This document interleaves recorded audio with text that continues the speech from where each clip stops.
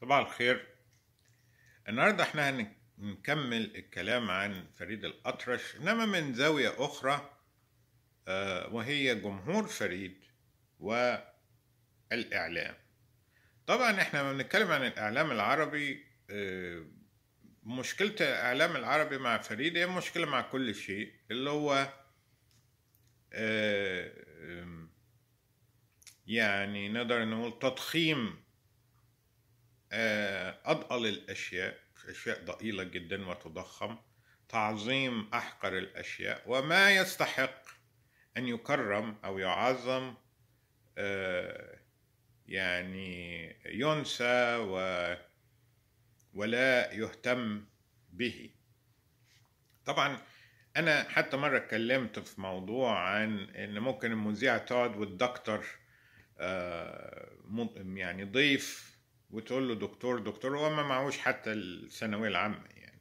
تقعد تقول له يا دكتور يا دكتور. هي مش فاهمة آه، الضيف بتاعها دون شغلته إيه ولا مؤهلاته إيه وجايبينه اي حد كده معدي قدام مبنى التلفزيون بيجيبوه يملى فراغ يعني. لأن هو إعلام بتاع فراغ عاوز يملى 24 بالذات- بالذات لما بقى 24 ساعة وقنوات كتيرة وتلاقي نفس الضيف العبيط ده طالع من حتة لحتة وبيقول نفس الكلام.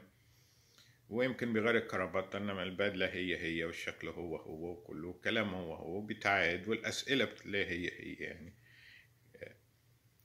آه، طبعا آه، والإعلام دائما موجه.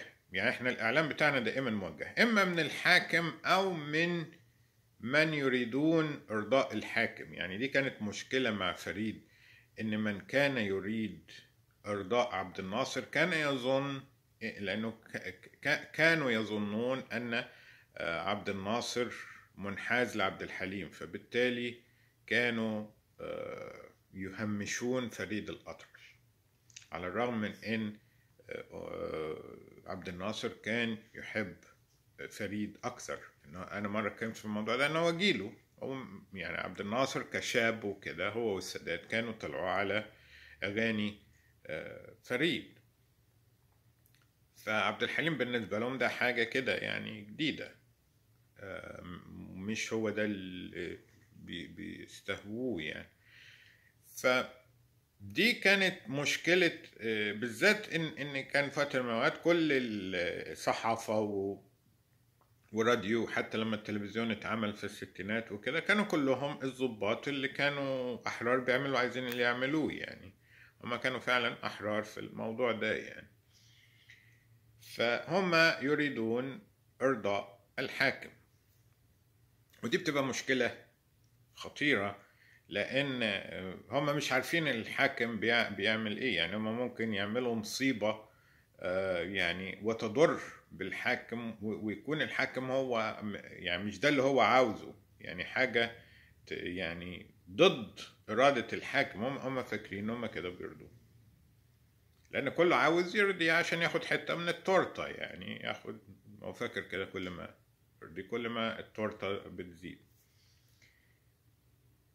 فنحن ك كجمهور فريد وأنا أنا يمكن اللي اطلق على جمهور فريد إنه جمهور فريد بالمعنى إنه ينتسب لفريد لأنه هو جمهور اللي بيحب فريد وأيضا فريد بمعنى إن مفيش زيه يعني هو الفرادة. فجمهور فريد بيمتاز بإن هو بينحاز لفريد بشكل قوي لأن نحن كجمهور فريد جمهور حب فريد ليس فقط كمطرب إنما لما عرف شخصيته من ما حكي وما كتب عنه من الناس اللي كانوا منصفين ليه كان شخصية عظيمة. يعني هو دائما الشخصية العامة لما بتبتدي تعرف جوانبها الشخصية إما تحبها قوي أكتر لما بيبقى ليها مواقف عظيمة أو تكرهها قوي أو تقول خلاص يعني آه، أنا ليا باللي بيكتبه أو اللي عمله يعني كانت آه، فنية أدبية آه، سياسية ايا كان. ب- ما فيش غير غير الثلاثه دول.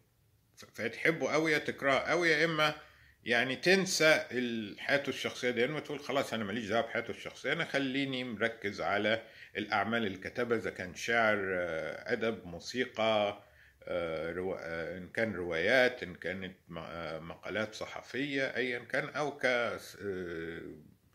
سياسية أو ع- على يعني علميا يعني أنا مثلا واحد من الناس طه حسين مثلا حبيت شخصيته لأن كان ليه مواقف يعني ممكن يبقى كان وزير للمعارف. والموقف خلاص يستقيل كان عميد وفي ثانية مش راضي على مش عارف مين آه، آه، هياخد آه، وسام أو دكتوراه فخرية وحاجة يعني صورة على الجامعة وقال لهم لا ده ما ياخدش وقولوا له لا هياخد غصب عنك. فقال لهم خلاص أنا مست... يعني كان ليه مواقف عظيمة جدا. يعني تحببك في الشخصية وتخليك تعرف إن دي شخصية عظيمة. نفس الشيء مع العقاد نفس الشيء مع يعني كان فعلا كان في في في التاريخ شخصيات. كل ما تعرفها تعرف حياتها كل. فكان معروف إن فريد آه، كريم جدا طيب جدا محب جدا. يعني بكل في كل ال ال الأشكال. ومن تعامل مع فريد حتى من كانوا يحسبون على عبد الحليم أو عبد الوهاب حتى أصدقاء عبد الحليم المقربين حتى الدكتور بتاع عبد الحليم مرة حكى إن هو أما شاف عبد الحليم آه، آه، شاف فريد في زيارة آه، جه يزور عبد الحليم وشافه قاعد معاه حبه جدا وراح وبقى يعني آه، بقى يعرض آه، حالته عليه آه، وبقى يروح وبيزوره. يعني بقى صديق حتى أحمد رمزي اللي هو كان من جيل يعتبر جيل عبد الحليم وكان صديق لعبد الحليم في حديث في ساعة صفا قال أنا كنت بحب فريد جدا.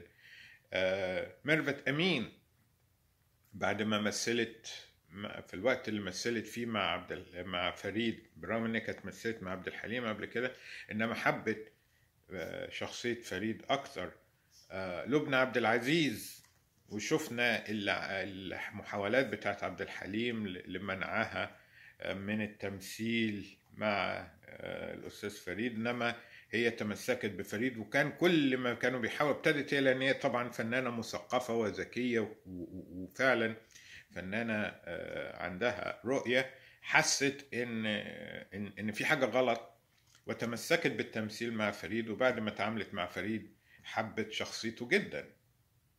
وغيره وغيره من الناس اللي كانوا منصفين ليه وحكوا عن الجوانب الجميلة اللي في شخصية فريد. طبعا في على الجانب الآخر أيضا وهذا ما يثير غضبنا منهم أو ما يثير آه، يعني إن إحنا نكون ضده.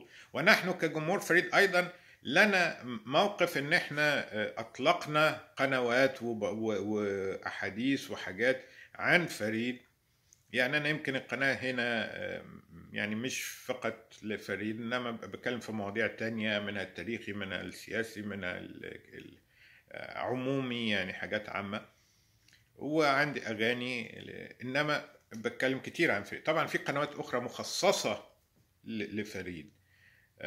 وإنصاف فريد. إنما آه، ما يثير غضبنا كثيرا. هو كان في وقت من الأوقات إعلاميين أنا مرة اتكلمت عنهم إنما ما ما يعني ما ما ذكرتش أسماء. المرة دي هذكر الأسماء. يعني كان في مثلا اولا نبدأ بسمير صبري. سمير صبري كان في وقت من الأوقات كان هو آه، يعني عايش على أغاني فريد. وبالذات لما خد سامي جمال ترقص معاه في يعني في الثمانينات منتصف الثمانينات يمكن وعمل فرقة أيضا جاب شوية بنات كده أجانب وبقوا يرقصوا معاه. كان هو كان أغاني فريد وبعض من أغاني محمد فوزي. يعني هو ده اللي كان بيقدمه. يعني يمكن حتى عمره ما قدم حاجة لعبد الحليم.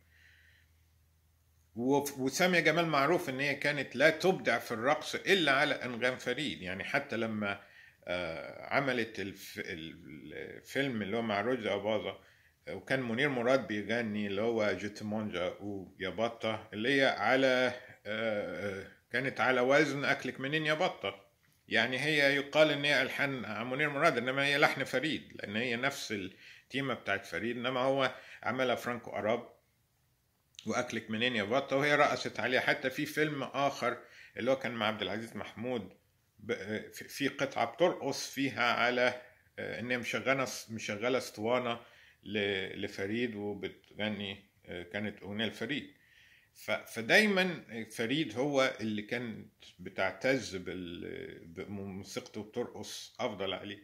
فهو سمير صبري قعد مدة على أغاني فريد. فعندما يقول يوما إن كان المفروض فريد يعتزل بعد عبد الحليم وإنه بيقارنه بمحمد فوزي طبعا محمد فوزي لم يعتزل. محمد فوزي كان أصيب بالمرض وأصيب بال... بعد إحساسه بالقهر اللي حصل له تأميم الشركة بتاعته اللي الشركة الوطنية العظيمة اللي هو عملها. إنما للأسف التأميم كان تأميم غبي جدا. وكان ما بيفرقش مين الوطني ومين مش وطني يعني. وكأن شركة محمد فوزي هي اللي هتغني البلد. وأيضا هم ضباط الأحرار كانوا أحرار يعني في اللي بيعملوه وكانوا مش فاهمين حاجة وكانوا بيعملوا حاجات كتيرة غلط. فمحمد فوزي توفى صغيرا ومحمد فوزي لم يتوقف يعني عن الغناء يعني. هو فضل يغني حتى في وجود عبد الحليم وفي مقطع بيقول رأيه في أغنية على حزب وداد. محمد فوزي يعني بينقد الأسلوب اللي اتلحن بيها على حزب وداد وقال إن ده مش مش تجديد للتراث ده ده تغيير خالص للتراث. فمحمد فوزي إذا لم يعتزل.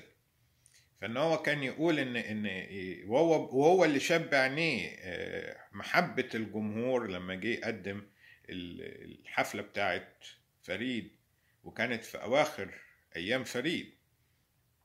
ف فاذا فريد ظل له جمهور عريض جدا وما زال له هذا الجمهور والجمهور يعني منتشر ويزداد دائما. فلما يقول الكلمة زي كده أو يتريق على الطريقة اللي بيغني بيها فريد كده ده يعني إحنا لا نتقبل هذا. وممكن يعني هو رصيده الفني قل عند الجمهور يعني واحد من الناس كنت بحب سمير صبري كشخصية.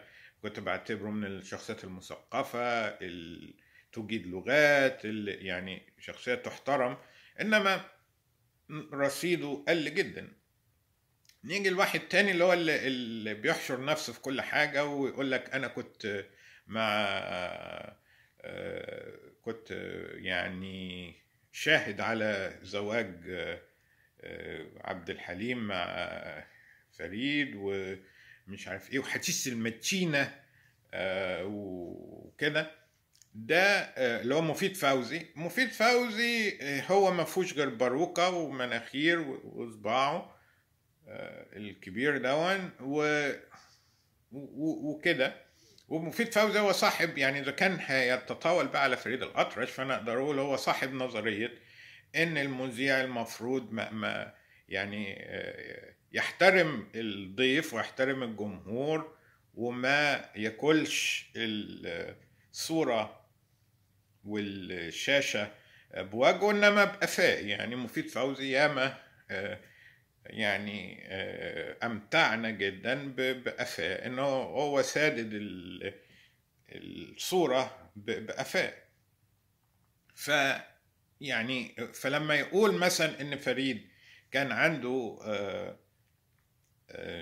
خدام اسمه حليم وكان يقول له يا حمار وكان يشتمه يا غبي ومش عارف إيه. منذ متى كان يقال هذا عن فريد؟ فريد معروف جدا وحتى بعد وفاته كانوا بيجيبوا اللي كانوا شغالين معاه وشغالين عنده السواق بتاعه والخدامين بتوعه أكم من مرات والناس كلها اللي كانوا بيتعاملوا معاه حتى الترابية بتوع الترب بتاعته لأنه كان بيروح كان يروح يزور أخته وكده كانوا بيحبوه وكانوا كان كريم مع الجميع. فانت لما تيجي انت من انت لكي تتحدث عن أين كنت أنت؟ انت ما كانش ليك أي لازمة في الدنيا لا أنت صحفي ولا أنت أديب ولا ت... يعني أنت اتحسبت على الإعلاميين غلط. واتحسبت على الصحفيين غلط. ومحسوب على أي حاجة غلط يعني. ولم تكن حتى صديقا لعبد الحليم. يعني انت انت حاشر نفسك. مع عبد الحليم ان عبد الحليم حضر مش عارف جوازة مين ولا ولادة مين وكان من وانت حضرت فين وانت كنت بتروح تعد ال... العربيات اللي كانت واقفة في شارع الشريف عشان تشوف مين فين وان يعني كلها تأليف وكلها كلام غلط في غلط في غلط. ونحن كجمهور فريد لا نقبل هذا لأن نحن نعرف جيدا قيمة فريد. الإنسان ليس فقط ال- الفنان بل أيضا الإنسان لأنه بالنسبة لنا نحن قرأنا وهذا ليس فقط انحياز أو تعصب أعمى. لا ده عن دراية وعن قراءة. يعني يعني آه، من هو منحاز لفريدة تلاقيه عارف قصة حياة فريد كويس جدا. الأغاني اللي عملها لنفسه ولغيره كويسة جدا. الأفلام وقصة كل فيلم ورا كل فيلم إيه اللي حصل. قصص آه، القصص العاطفية بتاعته. هتلاقيه عارف آه، نشأته عارف كل حاجة وعارف مين قال عنه إيه. يعني هتلاقي يعني في آه، هو آه، محبة عن ثقافة واعتزاز بشخصيته العظيمة عن ثقافة ومعرفة. مش آه، كده انحياز أعمى. عن جهل يعني ده بعد قراءة وبحث ومشاهدات لأحاديث وقراءات لكتب عنه عن قص وعن حياته كده ففريد هو شخصية عظيمة جدا. ونحن كجمهور فريد بالمعنيين لا نقبل لا من مفيد فوزي ولا من سمير صبري ولا مش عارف من مين ولا من مين ولا من مين. التعدي عليه حتى عبد الوهاب برضو في حديث مع آه، ليلى رستم لما قال لها هو بيغني أغاني حلوة زي آه، فوق آه، غصنك يا ومش عارف يعني تلاقي في تهكم من عبد الوهاب عليه. في تهكم من كده. فنحن لا نقبل هذا. يعني أنت ما تتكلم باحترامك يا سيد ال- ال- اللواء الدكتور المهندس ال- مش عارف إيه يعني يعني أنت فريد لما بيتكلم عنك بيتكلم عنك باحترام. أنت ليه ما, بتحترمش نفسك يعني؟ يعني وللأسف عبد الوهاب أيضا عندما يتحدث في كل أحاديثه هتلاقيه يعني آه، بيتكلم بأسلوب سمج جدا وأسلوب يعني أقل من المحترم. آه، بعكس فريد ليه؟ لأن عبد الوهاب أيضا هي نشأته كانت يعني كده. آه، و أيضا عبد الوهاب ساعات يبقى عاوز يعمل نفسه إن هو يعني قريب من الناس ومش عارف إيه عشان محدش يقول عليه متنك ولا كده. إنما عبد الوهاب كان يعني مش في أحاديثه آه، يعني الواحد ينفر منها مش يعجب بيها. يعني يمكن ال ال احترم في عبد الحليم في كل أحاديثه عن فريد كان بيتكلم عنه باحترام. يعني أنا حاطط الحديث اللي هو مع طارق حبيب كان فعلا باحترام. إنما عبد الوهاب كان أكتر من مرة بيتكلم بأسلوب مش لطيف. ولهذا آه، نحن نعتز بفريد ولا نرضى بمن يتطاول على فريد الأطرش لأن نحن نعرف قيمة فريد الفنية والإنسانية والأخلاقية وكله. ونحن فعلا جمهور فريد ومع فريد. ونشوفكم على خير إن شاء الله.